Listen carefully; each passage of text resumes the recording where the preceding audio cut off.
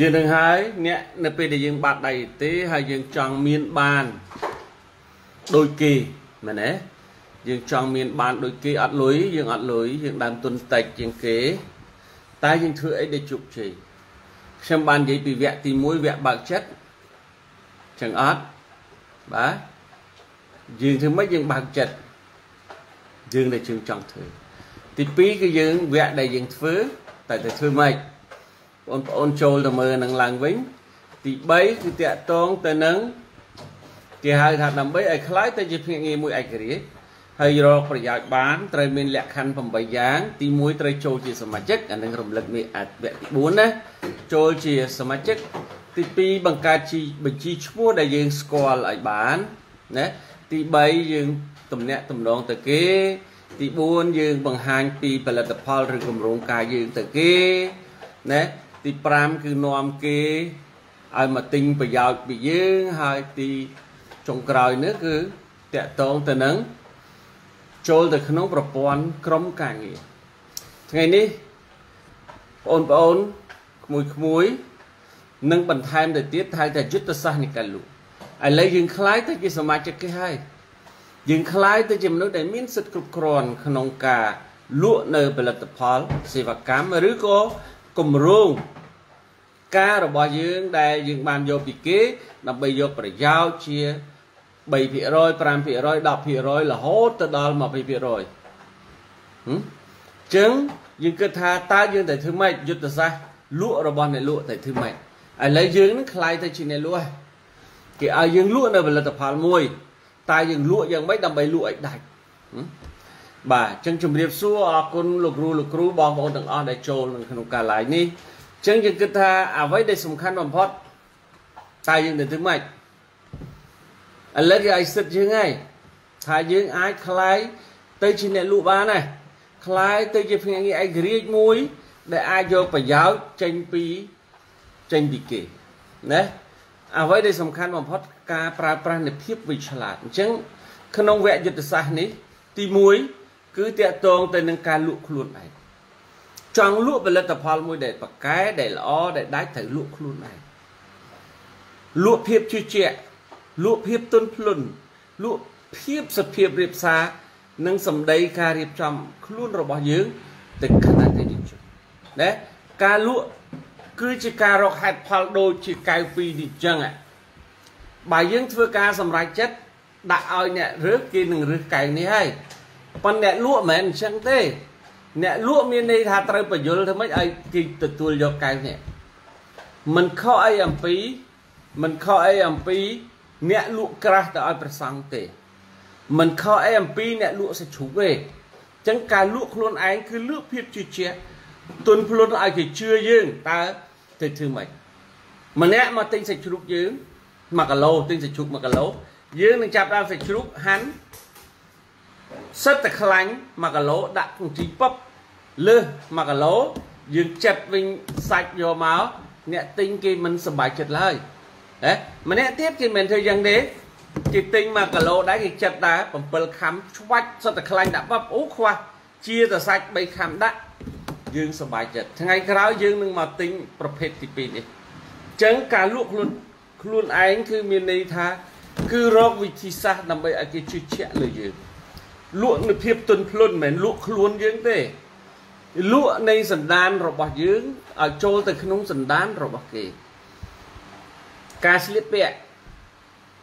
តុបតែងកាយការរៀបចំឯកសារផលិតផលណេះបិចខ្មៅដៃសម្ដីសម្ដៅរបស់យើងភាពទន់ភ្លន់វោហារបស់យើងស្គាល់ពោះស្គាល់ទៀបស្គាល់រយៈ ស្គាល់ជ្រៅមានរបៀបដែលធ្វើឲ្យគេជឿជាក់យើងកាលណាគេជឿជាក់យើងគេទិញយើងហ៎គេចង់ជួយទិញយើងហ៎ទុកពេលខ្លះអ្នកខ្លះលក់របស់មួយទៅឲ្យគេគេអត់ចង់បានទេប៉ុន្តែដោយសារអាភាពល្អឥតខ្ចោះភាពទន់ភ្លន់របស់យើងហ្នឹងកាយវិការនិងសម្ដីសម្ដៅរបស់យើងហ្នឹងធ្វើឲ្យគេជួយទិញយើងណាជួយទិញយើង ពេលខ្លះទិញទិញយកទៅតម្រង់ចោលប៉ុន្តែដូចស្ដាយសាកឆ្ងាញ់ទៅក្រៅគេមកទិញថែមទៀតខ្លួនឯងគឺលក់លក់តម្រងរបៀបអញ្ចឹងណាមិនមានទេទៅដល់ខែងរែងដាក់គេសម្ដីណាចេញមកវាអស់ចាជាងគេចឹងឃើញទេមហាសេដ្ឋីរបស់ឥណ្ឌាគាត់មានណា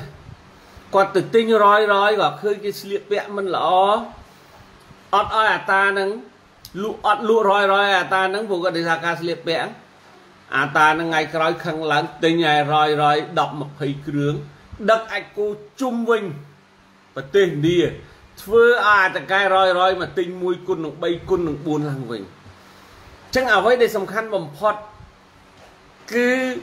មិនមែនយើងមើលមនុស្សអតិថិជនក្នុងប្រភេទណាក៏ដោយយើងត្រូវលក់ខ្លួនយើងលក់ជំនឿនៃការជឿជាក់ យើងទៅអត់គេគ្រាន់ឃើញការរៀបចំខ្លួនយើងទឹកមុខសម្ដីសម្ដៅនិងឯកសាររបស់យើង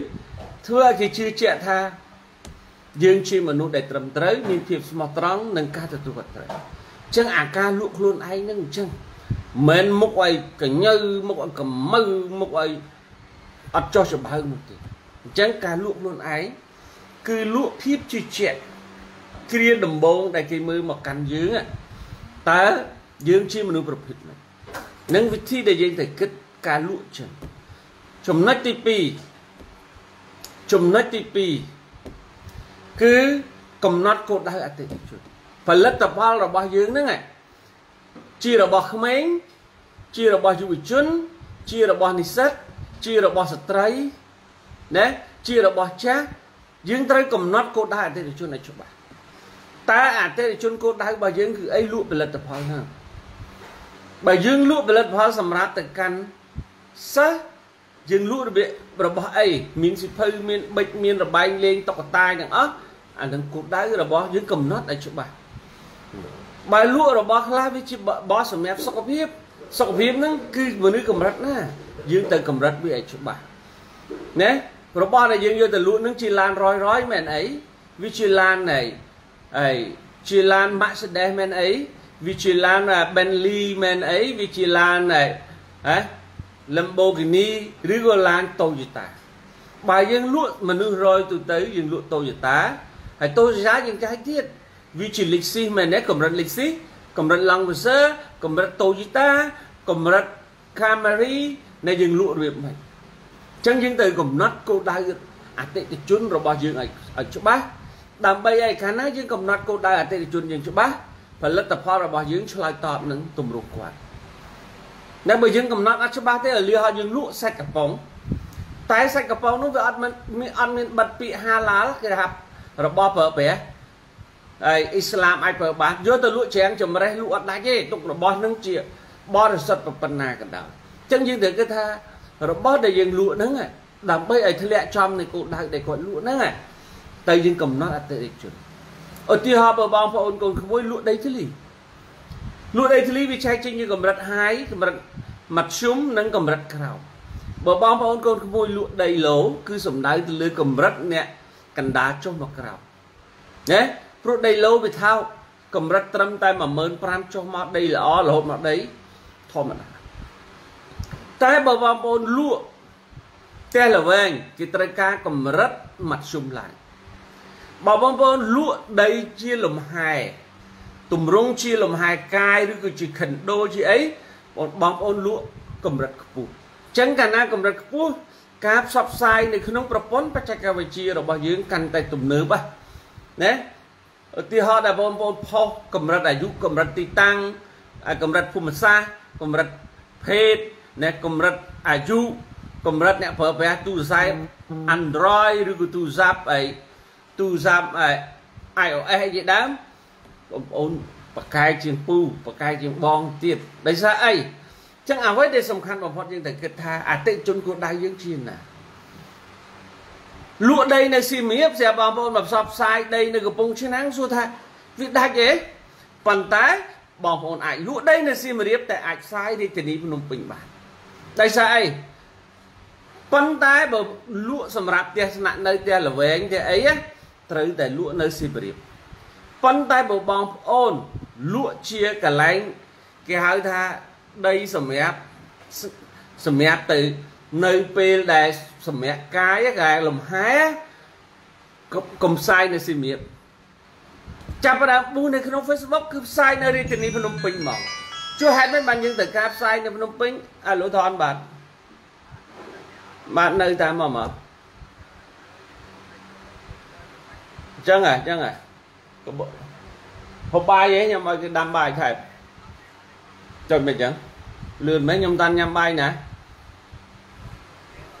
អើឥឡូវវគ្គរៀបបាយមានភ្ញៀវមកអញ្ចឹងមានខ្ញុំស្លៀកពាក់កៅអៅទៅតាមវិញចឹងអឺអឺអូខេអូខេណាណាណាអញ្ចឹងអូខេបាទបាទបាទចឹងយើងគិតថា អតិជនគោលដៅរបស់យើងយ៉ាងម៉េចយើងត្រូវវិភាគវាឲ្យច្បាស់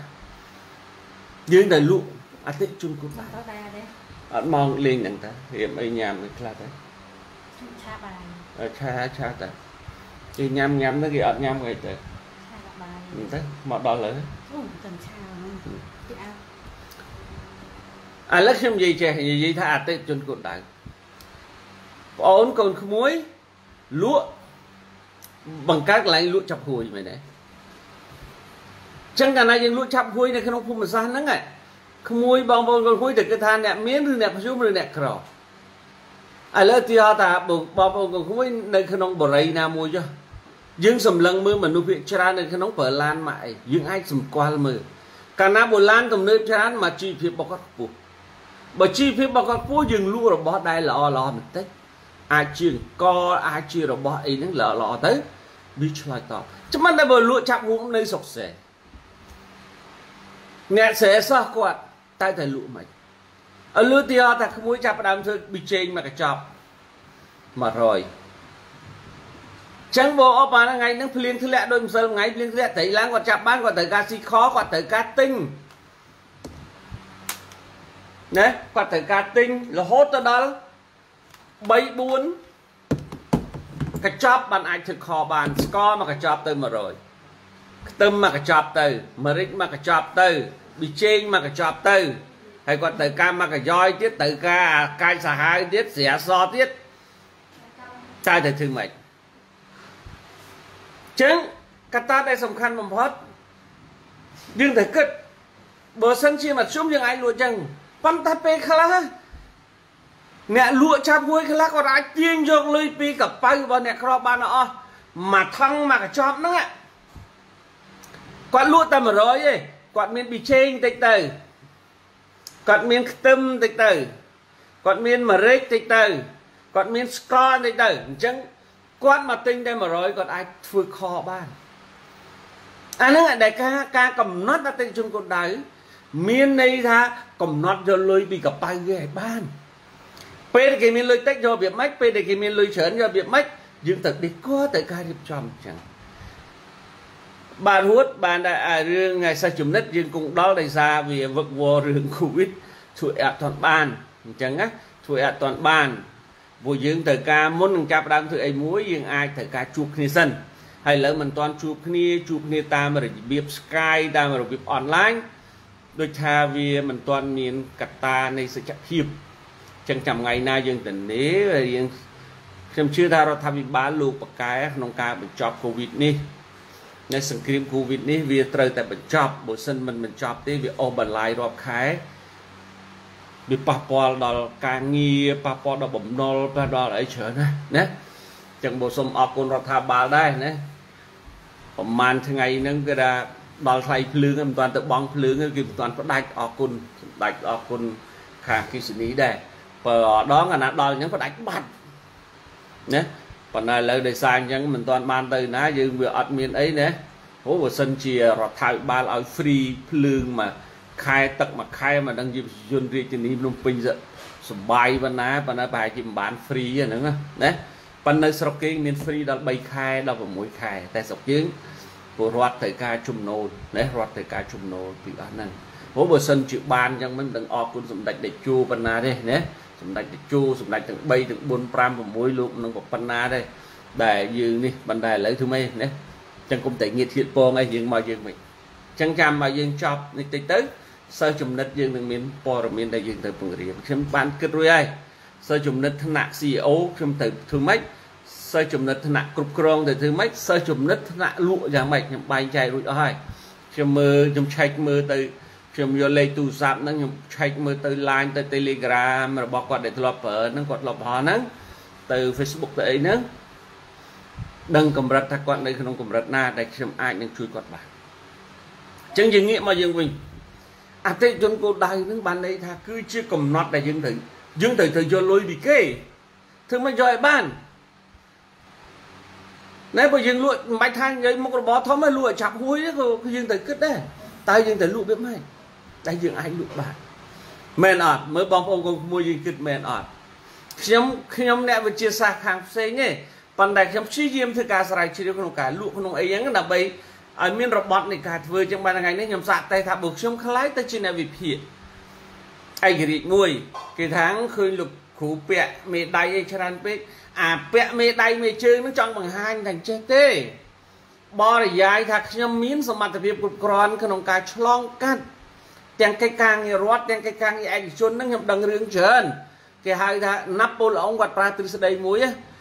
សំណេរ100 1000ម៉ាត់មិនស្មើនឹងគំនូសមួយទេមែនទេមហាគំនូសមួយទេឥឡូវឧទាហរណ៍ថាក្មួយទៅស្រឡាញ់ស្រីម្នាក់ស្រីម្នាក់ហ្នឹងឲ្យកូនកសែងដៃមួយមានតម្លៃមែនទេមានតម្លៃនៅក្នុងនោះមានមនោសញ្ចេតនាមានស្នេហាអូអាហ្នឹងរឿងទាំងអស់មែនអត់ ពីចឹងទេចឹងសុំទោសណាបើកុំឲ្យកំហាញថាខ្ញុំបានឆ្លងកាត់នៅរឿងរ៉ាវសំខាន់សំខាន់បើសិនជាខ្ញុំទៅជាអ្នកវិភាគឯករាជ្យមួយនេះឯងគ្រប់គ្រងទេគេថាមិនគ្រប់គ្រងបានបើអ្នកឯងពាក់អញ្ចឹងប្រកាសជាទៅនឹងវិញអាការវិវត្តរបស់សង្គមប្រទេសនិងកិច្ចការងារជាទូទៅនោះវាជាកត្តាអាស្រ័យទេវាជាកត្តាអាស្រ័យដែលយើងត្រូវគិតថាត្រូវធ្វើយ៉ាងម៉េចអញ្ចឹងការកំណត់អតិថិជនគោលដៅគឺជាវិធីសាស្ត្រដែលយើងត្រូវយកលុយ ពីកប៉ៅគេយកលុយពីកប៉ៅគេចូលមកអង្គុយលេង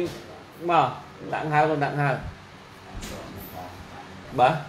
បោកម៉ែអត់លឿនមកអង្គុយ đứng មកអង្គុយ đứng មកងាល់មកលេខលេខលេខគេ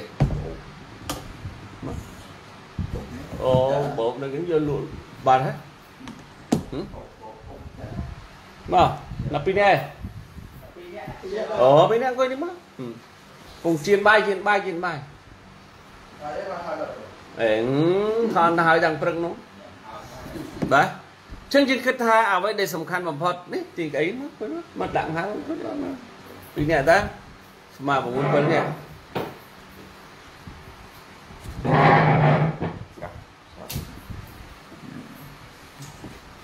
ចឹងការកំណត់អតិថិជនគោលដៅគឺបានន័យថាយើងយកប្រយោជន៍ចេញពីគេឲ្យធ្វើមិនដូចយើងលក់កាហ្វេអញ្ចឹងកាហ្វេស្រុកស្រែតែ1000ទេមែនទេប៉ុនកាហ្វេស្រុកពេញ2រៀប5កាក់ប៉ុន2រៀប5កាក់ហ្នឹងយើងសំនឹងឲ្យគេមែនចូលទៅតិចអ្នកបំរើស្អាតស្អាតជញ្ជាំងតុបតែងដោយភ្លើងកៅអីអង្គុយគេហៅថា ត្រជាក់ចិត្តហ្មងចឹងគេយកបានអត់គេបោកសេវាហ្នឹងដូចខ្ញុំចំណាំនិយាយថាមន់មួយយើងទៅទិញអ្នកស្រែមួយតែ4000 3000ទេមន់ស្រែហ្នឹងណាយកមកធ្វើហូបទៅប៉ុន្តែបើយើងយកមកលក់នៅអដងវាឡើងប៉ុន្មានវាឡើង7000 8000 2រៀលប៉ុន្តែបើសិនមន់ហ្នឹងយកមកធ្វើនៅសន្តាគារភ្នំពេញ no គឺ20ម៉ឺន ប៉ុន្តែក្នុង20ម៉ឺនហ្នឹងយើងមានលុយយើងសំនឹងហូបមែនដោយសារអីដោយសារនៅលើចានមានដេកផ្កានេះផ្កានោះរូបមានរូបងន់ធ្វើចេញពីមើមការ៉ុតមើមអីថែមទៀតវាតំណងដែលយើងមានលុយព្រោះយើងធ្វើម៉េចការហូបសបាយហើយចិត្តយើងសបាយជាតិវានាំឲ្យយើងមានសុខភាពផ្លូវចិត្តហូបឆ្ងាញ់មានសុខភាពរាងកាយតែដេករបស់គេនឹងមានសុខភាពផ្លូវផ្លូវចិត្ត ចឹងបានបងប្អូនកូនក្មួយពេលសម្រាប់សៅរ៍អាទិត្យនេះត្រូវចេញទៅក្រៅផ្ទះទៅវាស្រែវាស្រូវដើមឈើព្រៃភ្នំក្រំថ្មហ្នឹង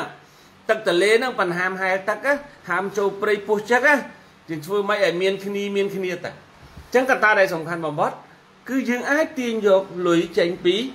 អតិថិជនទៅតាមអ្វីដែលយើងរៀបចំដូចខ្ញុំនិយាយថាកៅ2នេះបើឲ្យអ្នករើសរើសអានេះហើយ ប៉ុន្តែបើឲ្យខ្ញុំនិយាយអ្នកនឹងអត់យកអានេះទេអ្នកនឹងយកអានេះវិញដោយសារអីខ្ញុំនិយាយអំពីកែវនេះវាមានត្រត្រង់មួយពណ៌ហ្នឹងវាអាចត្រត្រង់ធ្វើឲ្យណាអុកស៊ីហ្សែនធ្វើឲ្យសារធាតុរ៉ែសារធាតុចិញ្ចឹមអីគ្រប់បែបយ៉ាងជួយដល់សុខភាពអ្នកទាំងផ្លូវកាយផ្លូវចិត្តប្រើអានេះហើយមនុស្សយើងចូលចិត្តឲ្យគេភូតតាអ្នកចូលចិត្តឲ្យគេភូតតាដែលឃើញក្មេងៗគេបញ្ចុកបាយក្មេងអត់ស៊ីទាញតុកតាមកវាយប៉ាំងប៉ាំង ឃើញវាយតុកតាខ្លាំងពេកចុកបាយទៅវាស៊ីបាយណែវាញ៉ាំបាយទៅពេលខ្លះទៀតអូញ៉ាំញ៉ាំញ៉ាំអត់ញ៉ាំអើលោកខែញ៉ាំហ៎យើងទេអញ្ចឹងយើងត្រូវកំណត់អតិថិជនកូនដៅរបស់យើងគឺទាំងវ័យទាំងភូមិសាស្ត្រទាំងភេទ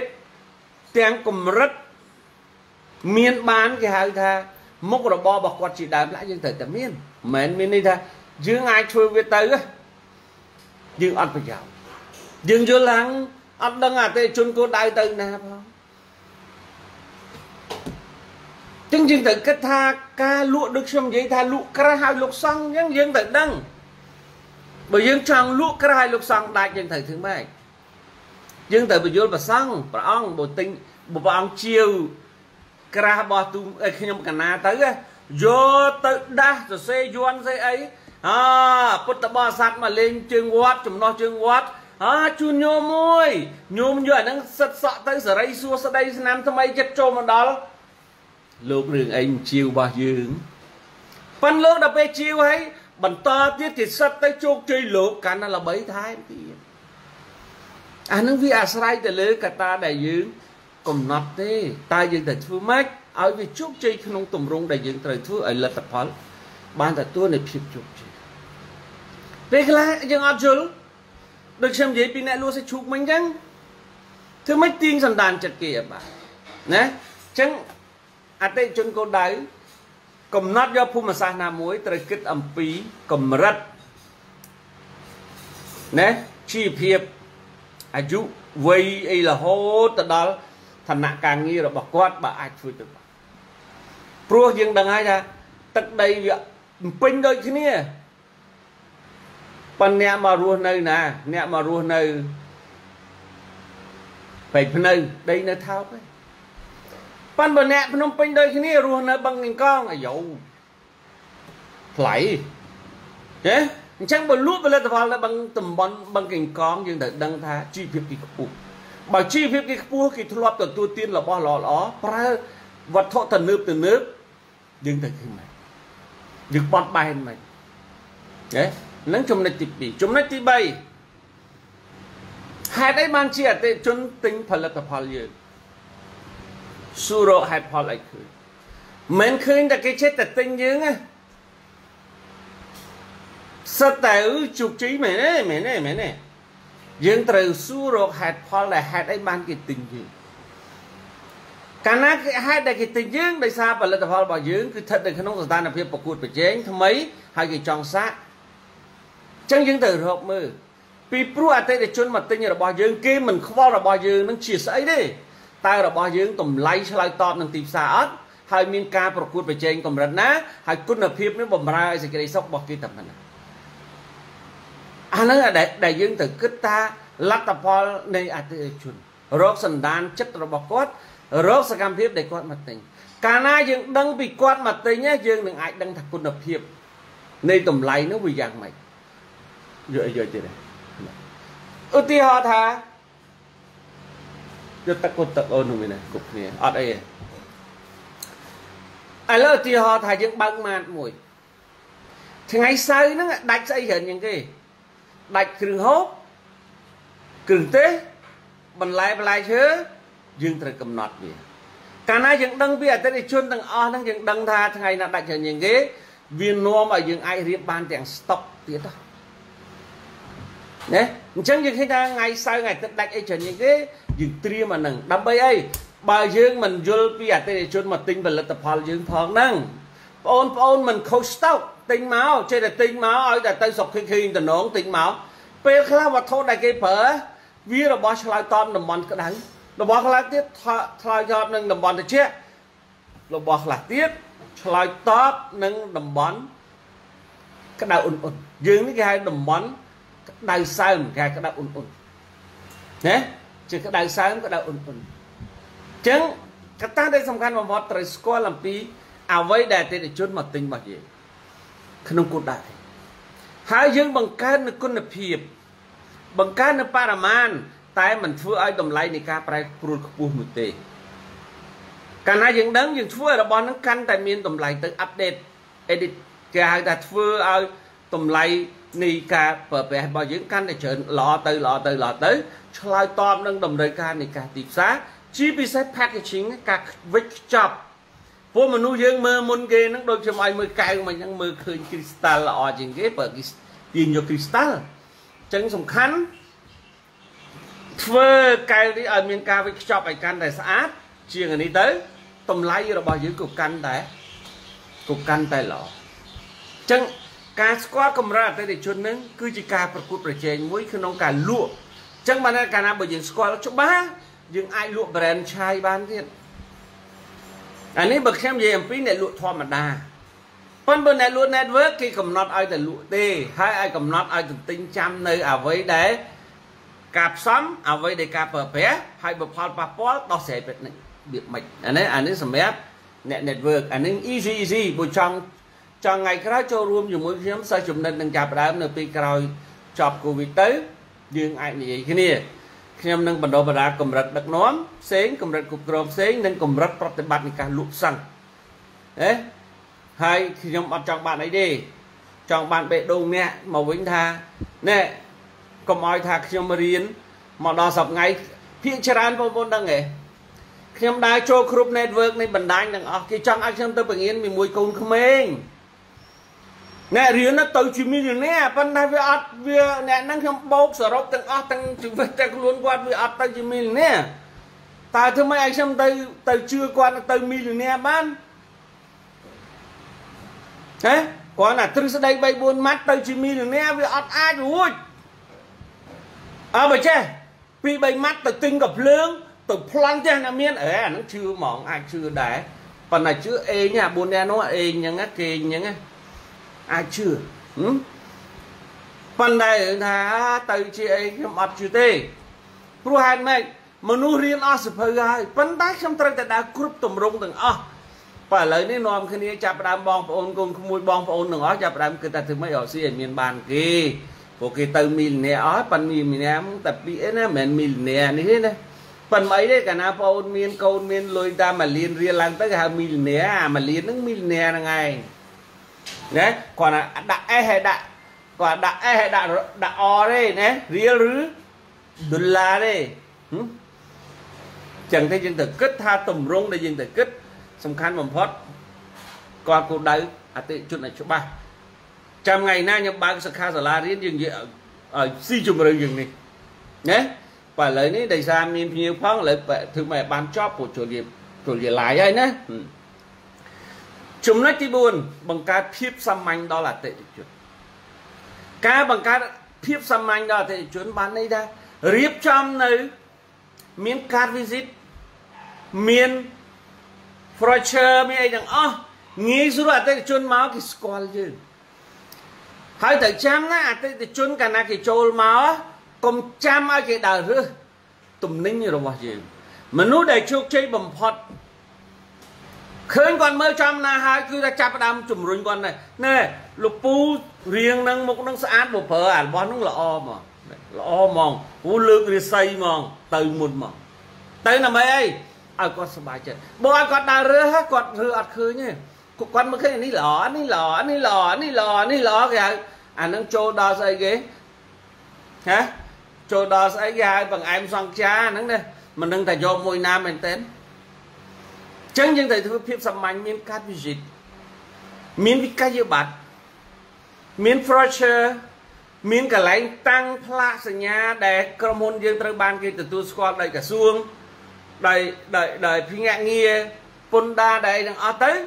គាត់គាត់ឃើញហើយគាត់ជឿមកបាច់ចាំសួរយើងទេណានៅក្នុងអាវត្រូវមានផ្លាកសញ្ញាត្រូវមានឈ្មោះមិនបាច់ចាំថាសួរឯងឈ្មោះអីទេនៅឈ្មោះនៅនឹងស្រែកជាមែនអញ្ចឹងទៅណា កញ្ញាដាក់កញ្ញាមកលោកដាក់លោកមកវាងាយស្រួលជាងណាយ៉ាងហ្នឹងភាពសាមញ្ញសាមញ្ញទី5អ្នកលក់ត្រូវចេះបិទចិត្តសាស្ត្ររបស់អ្នកលក់មានន័យថាភ្នែកមើលឲ្យចូលភ្នែកហើយទឹកមុខញញឹមចាំណាភ្នែកមានអតិពលខ្លាំងណាស់នៅក្នុងសង្គមនៃការរស់នៅ ភ្នែកមានអតិពល5យ៉ាងចាំណាបើភ្លឺចង់មើលឲ្យច្បាស់ត្រូវនៅទីតាំងឲ្យខ្ពស់កាលណាប្អូនឯងនៅខ្ពស់អញ្ចឹងបានគេអ្នកបាញ់ពីលើមកបើយោធាបាញ់ពីលើតម្រកំរនឹងបាញ់ខុស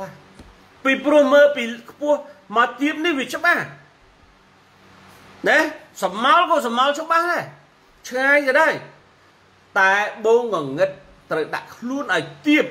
បានមើលច្បាស់ សាកលុំមើលតែពេលដែលយើងដាក់ខ្លួនមេល្ងឹតមើលអត់ឃើញទេបើដាក់ខ្លួនយើងទៀបយើងដឹងថាអូឆ្មាដែររត់ពីមុខហ្នឹងកដោតាមនុស្សតាអីចឹងដោយសារដាក់ខ្លួនទៀបពីព្រោះនៅលើស្ទាប់ដីរបស់យើងមានជាតិបារោយមានជាតិពន្លឺដែលធ្វើឲ្យយើងអាហ្នឹងសម្រាប់ការមើលឯងប៉ុនភ្នែកមានសារៈសំខាន់3ដែលសំខាន់ជាងគេក្នុងការប្រើប្រាស់កម្រិតជាអ្នកគ្រប់គ្រងដឹកនាំគេ ការគិតចង់គិតឲ្យឃើញនៅរឿងរ៉ាវអ្វីៗដែលយើងចង់គិតឲ្យឃើញត្រូវផ្ដែកបិទភ្នែកសិញ្ជឹងគិតកាលណាយើងបិទភ្នែកសិញ្ជឹងគិតសម័យទៅរកបញ្ហាហ្នឹងយើងរកឃើញភ្លាមឃើញទេបិទភ្នែកគិតបានគិតទៅវាងាយ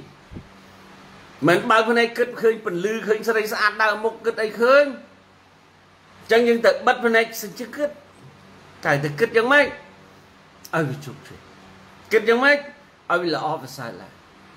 ណាអញ្ចឹងយើងទៅគិតចឹងគិតធ្វើទៅម៉េចឲ្យជោគជ័យ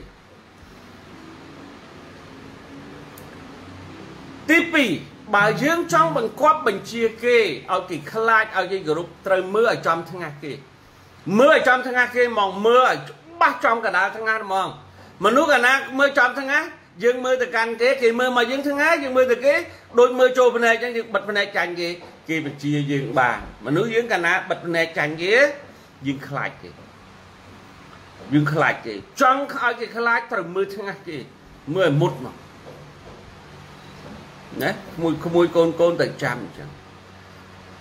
តែបើចង់នាំបោកចិត្តមនុស្សសេចចេតនាគេ មើលឲ្យភ្នែកចូលភ្នែកបាទខ្ញុំចង់និយាយឥឡូវហ្នឹងអញ្ចឹងអ្នកលក់ត្រូវមើលឲ្យចូលភ្នែកគេ ព្រោះភ្នែកយើងមានអតិពលមួយមានអង្គតង់ស៊ីតេធម្មពលខ្លាំងណាស់ដែលធ្វើឲ្យមនុស្សឥឡូវមិនជឿក្មួយឯងចេះទេក្មួយឯងថ្ងៃហ្នឹងប៉ុន្តែដោយសារឥឡូវគេបិទមែនទេអសានវិរមែនទេកូនទេមកអើទេមកក្រៅ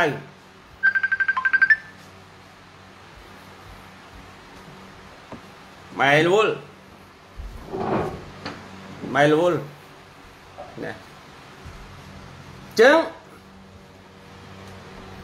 យើងត្រូវមើលភ្នែកចូលភ្នែកដើម្បីនាំនោសញ្ចេតនាគេឥឡូវចាថ្ងៃហ្នឹងចាប់ពីហ្នឹងហើយទៅផឹកកាហ្វេទៅលួចប្រើកតុយភ្នែកលួចមើលអ្នករត់តុកស្រីស្រី này យើងចាប់អារម្មណ៍លួចមើលស្ត្រីនោះនឹងនឹងទី1ហាក់បីដូចជាមាក់ងាយយើងចេះអានេះចេះមើលអញវាមិនវាអាឈួតនេះគីឡូ ប៉ិនមើលលើកទី2មើលលើកទី3ហើយតែភ្នែកយើងចូលភ្នែកហើយចប់ហើយចប់ហើយនាងចប់ហើយព្រោះហេតុអីគាត់គិតថាយើងស្រឡាញ់គាត់កាលណាយើងគិតគាត់ស្រឡាញ់យើងស្រឡាញ់គាត់គាត់មានមនោសញ្ចេតនាគាត់ធ្លាក់ចូលទៅការបោកផ្លូវចិត្តបាទ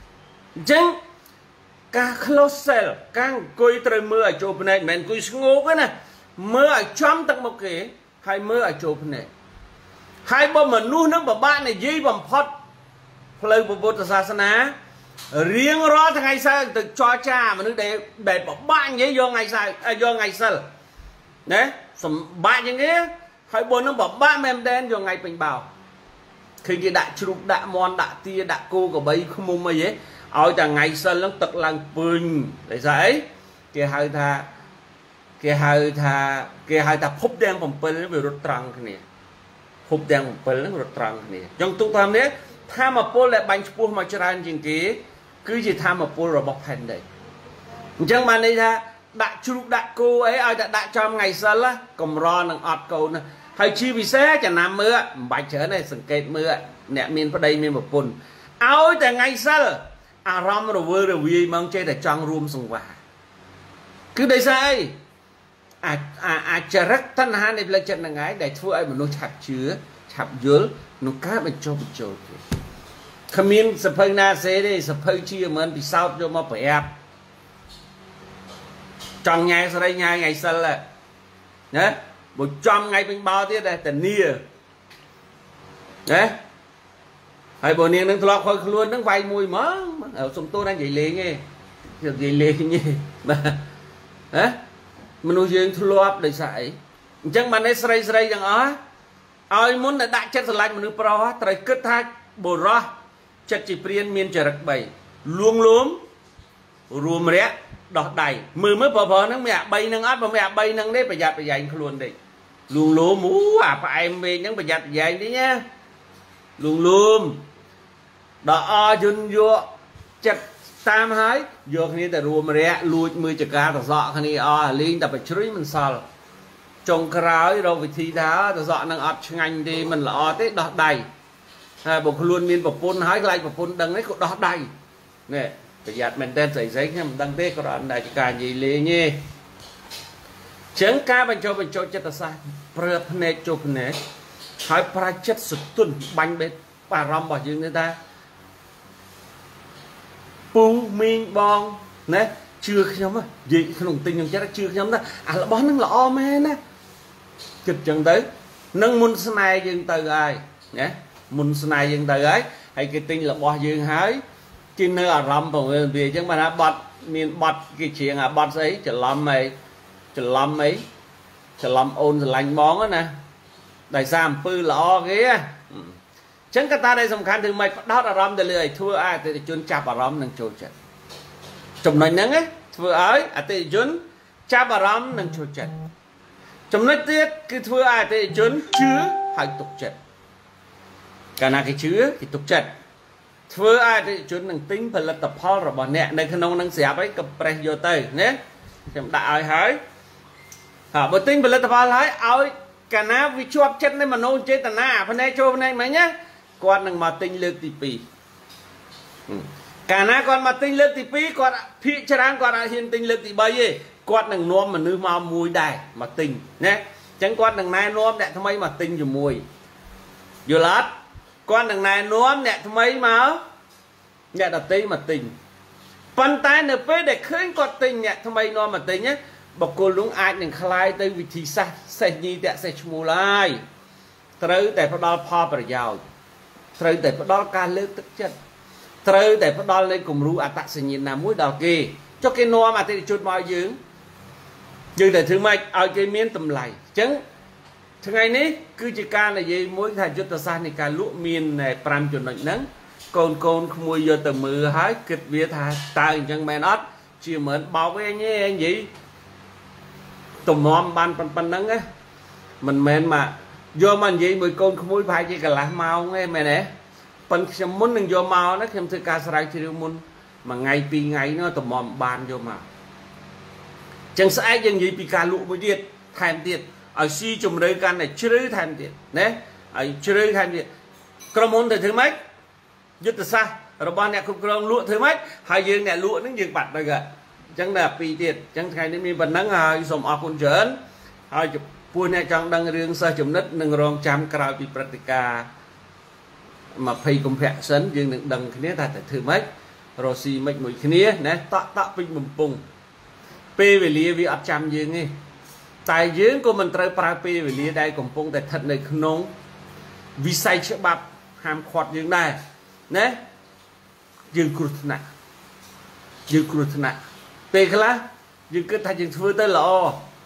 ប៉ុន្តែអ្នកដតីមិនល្អណាដោយលោកគ្រូវ៉ាន់ឡនអញ្ចឹងណា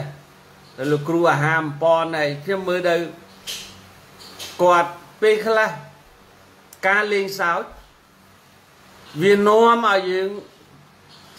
បញ្ហា តាមពិតរឿងសកម្មភាពរបស់គាត់ល្អទេ សម្រាប់ក្រុមគាត់សម្រាប់គ្រួសារគាត់សម្រាប់សកម្មភាពគាត់គឺល្អសបាយប្រពន្ធគាត់មានយើងនេះខឹងជំនួសប្រពន្ធគាត់ដែរយើងនេះខឹងជំនួសមន្ត្រីរបស់គាត់ដែរតែដោយសារឃើញប្រពន្ធគាត់ក៏មិនខឹងបញ្ចុកបាយគាត់ទៀតហើយមន្ត្រីដែលលួចថតគាត់នឹងបន្ថែមពីទៀតមេមេនិយាយបានច្រើននិយាយចូលទៀត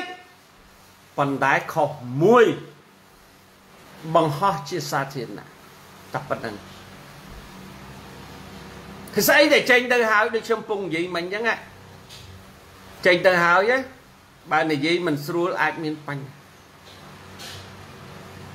ព្រោះសង្គមយើង សង្គមមួយ ដែលមានចរិតដុតឲ្យខ្លោចរុលឲ្យឆៅ ដើម្បីសំអិនតែពងមន់មកគ្រាប់រុះផ្ទះអ្នកដតីមកមកមកស្ងោវាដើម្បីចាប់កណ្ដុលមួយក្បាលដុតភូមិអ្នកស្រុកក៏មានដែរចឹងបើយើងនិយាយធ្វើម៉េចដើម្បីយើងកែលម្អនៃសង្គមនេះយើងអាចរិះគន់គេនៅក្នុងតំបន់របស់យើងគ្នាយើងដោយគ្មានការលួចថតតែយើងមិនអាចបង្ហោះជាសាធារណៈឡើយ ពីព្រោះមនុស្សរបស់យើងវាមានខ្មៅមានសមមានទឿមានខ្ពស់មានស្គមមានធាត់មែនអត់មានកងួរមាននិយាយបរោះមានរូបស្អាតដូចអ្នកណាក៏ខ្លាចខ្មោចដែរមែនទេប៉ុន្តែស្ដាប់សិនស៊ីសមុទ្ររស់សរិយធាប៉ែនរនច្រៀងពេលយប់ក៏នៅតែបរោះលងលួចតែភ្លេចគេថាខ្មោចច្រៀងឲ្យស្ដាប់ហ្នឹងដោយសារអី ដោយសារគាត់ស្លាប់យើងអត់បានឃើញខ្មោចគាត់សារបើឃើញខ្មោចគាត់ឲ្យលេះឲ្យលួយមើលបត់ជំនាញហ្នឹងបើគាត់ជាមិនហ៊ានស្ដាប់ទេមែនអត់អានឹងដូចយើងកាលនៅសុកស្រែសម័យពីដើមហ្នឹងឲ្យតែយប់ឡើងចាស់ចាញ់និយាយរឿងខ្មោចដបងអង្គុយនៅនោះអញ្ចឹងឯងដល់និយាយយូរទៅរួញទៅរួញទៅរួញទៅជុំវិញអ្នកនិយាយអត់ដល់បោកដល់ផ្ទះអត់មានអាជូនណាអាមួយជូនណាអាហ្នឹងអាហ្នឹងវាពិបាកអញ្ចឹងណា អើជូនអញទៅផ្ទះជូនដល់ផ្ទះឡើយជូនមកវិញទៅមកដល់ភ្លឺបដ ாய் ទៅ